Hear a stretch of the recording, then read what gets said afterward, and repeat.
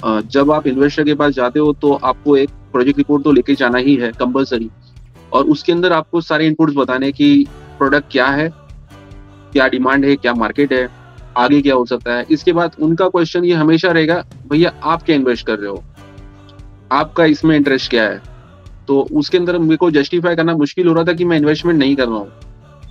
By money I was not investing anything in finance part I was investing my time and time has the biggest value ऐसे क्योंकि आज अगर मैं किसी को बोलूँ कि मैं आपको लाख रुपए देता हूँ, आप घर के अंदर बैठ जाओ पूरा टाइम वो तो नहीं बैठेगा because he has a world to know ना you not sit at home so if you are giving time to somebody किसी को आप टाइम दे रहे कोई चीज़ के लिए तो उसका भी वैल्यू होता है।